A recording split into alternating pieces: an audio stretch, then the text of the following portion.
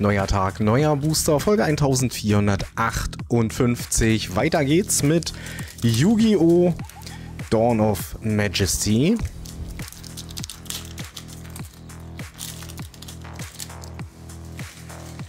Was mich bloß wundert, dass auf dem Display nicht vermerkt ist, dass es hier auch Collectors Rare Karten geben kann in diesem Set. Ja, nun weiß ich nicht, äh, ob man da spezielle Displays für braucht oder ob die halt mit einer geringen Wahrscheinlichkeit doch in den Standard-Displays vorhanden sind. Markierte Verbindung. Shinobi-Insekt Hagakuremino. Ein Link-Monster. Zwei Kröten mit einem Stich. DDD Derby in einer anderen Dimension.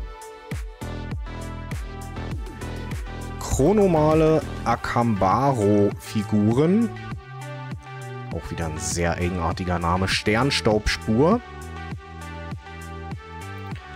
Gunkan Sushiv Shari.